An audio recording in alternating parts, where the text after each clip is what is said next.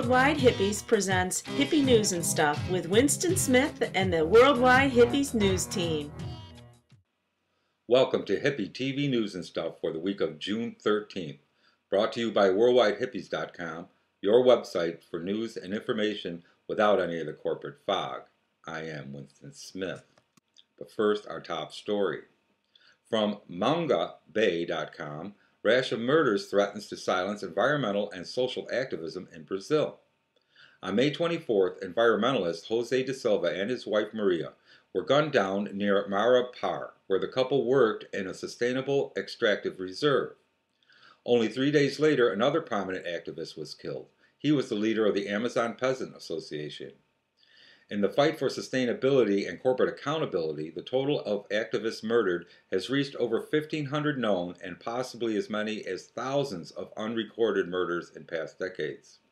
With multinational corporations operating with what seems like full impunity over the last decade, this may be the last showdown for indigenous people and indeed the whole planet in regards to who will own and exploit the rainforests of Brazil.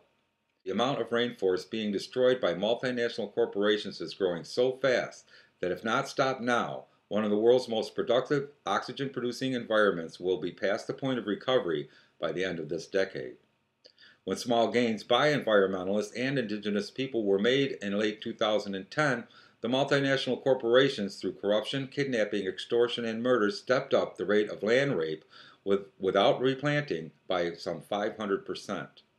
A disclaimer here.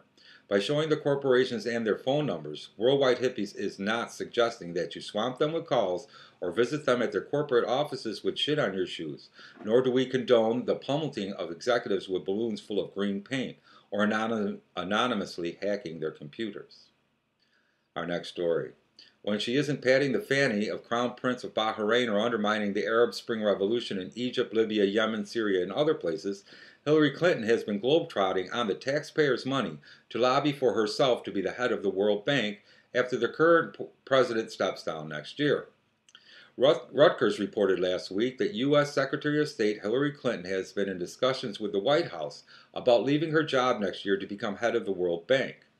The former First Lady and current DNA collector for the CIA quickly became one of the most influential women in global crime after she began her tenure at the State Department in early 2009. All I can say is, if you think Haiti was fucked up before, wait till Hillary controls the money. The few million that Bill Clinton scammed from the Haitian Relief Fund really was nothing. Look for Haiti to be renamed Isle of Rodham in late 2014. And here's P.E. Nolan with her report Appalachia Rising and Friends of Blair Mountain. What the hell's going on in wild and wonderful West Virginia, Trish? Hi, Winston. Thank you. Saturday, June the 11th, over a thousand people marched up Blair Mountain in West Virginia calling for labor rights, sustainable jobs for Appalachian communities, and the preservation of a national historic site in danger of destruction by mountaintop removal. The march began in Marmet, West Virginia, with about 350 people following the route traveled by Union organizers in 1921 on the way to Blair Mountain. Over 10,000 coal miners fought with local police and thugs hired by the mine owners in order to end the company town system that turned workers into wage slaves. President Harding ordered the U.S. Army to intervene on behalf of the owners and used planes left over from World War I to drop bombs on the workers. The military broke up the demonstration, but the battle raised awareness of the dangerous conditions facing miners in the coal fields of West Virginia and sparked America's early labor movement. Blair Mountain was added to the National Register of Historic Places in 2009, but was delisted a couple of months later because the owners got pissed. Um, no mining has taken place on the historic battlefield yet, but Massey Energy holds permits to destroy the area with mountaintop removal.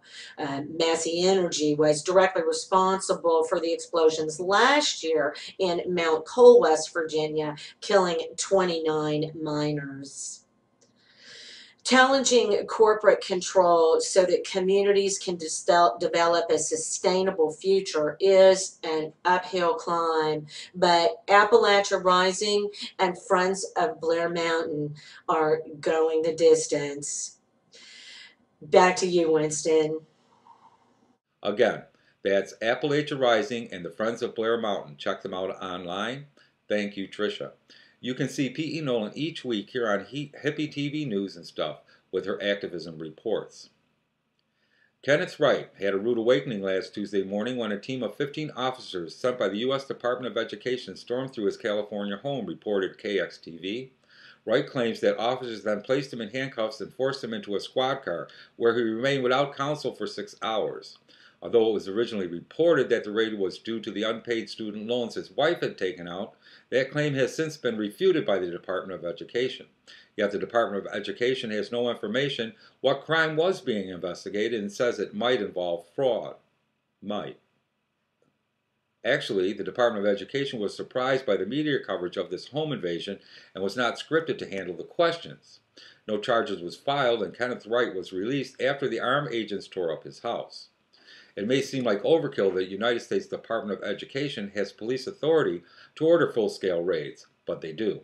The department was given that right under the Homeland Security Act in 2002. Last year, the Washington Post reported that the Department of Education purchased 27 brand new shotguns. In a statement explaining their purchase, the department stated that they are responsible for the detection of waste, fraud, abuse, and other criminal activities involving federal education funds, programs, and operations. When asked why the rifles might be used to shoot people with default student loans, the Department of Education did not offer any more details. Time for our asshole of the week. And this week it goes to G.W. Obama for the sleazy way he brought in the Crown Prince of Bahrain to the White House and the hypocritical statements welcoming and supporting him. On June 7th, the New York Times and Washington Post did not, I repeat, did not report Bahrain's Crown Prince Salman bin Hamad al Khalifa's White House meeting with Obama, the equivalent of welcoming a serial killer into the United States.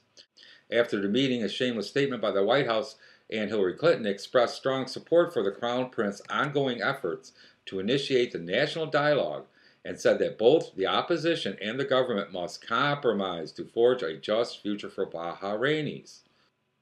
That was Hillary Clinton's doublespeak for keep up the good work for our Saudi buddies. In fact, since mid February, when nonviolent protests began, Obama and America's media largely stayed silent about the daily human rights abuses in Bahrain, including murder, torture, mass arrests, bogus accusations, and show trials, convicting innocent civilian men and women for courageously wanting democratic rights in a nation without them. Just one case in point. A Bahraini student poet, 20 year old Arat Akamazi, arrested in March for publicly reading her critical poem at a Manmana rally. Amnesty International requested the president to ask about her case. She was charged with incitement to hatred of the regime and reportedly was tortured in detention. Without mention from Barack Cheney about her case, conviction is virtually certain, as are years in prison, for her peacefully expressing her views. But on June 7th, while he had the opportunity, White House discussions excluded her case and others, focused solely on U.S. regional interests, backing of one of the most ruthless, despotic regimes and U.S. ally. For sacrificing the brave activists in Bahrain on the altar of hypocrisy and reinforcing the U.S. commitment to supply the weapons of death to evil kings, princes, and corporate interests, you, President Barack Obama, the biggest disappointment since Santa Claus, is worldwide hippies asshole. Please share this video and visit worldwidehippies.com often for news and information updated every two hours. And visit our store or make a donation to help Worldwide Hippies keep up the howl for peace and justice. And we will see you here next Monday.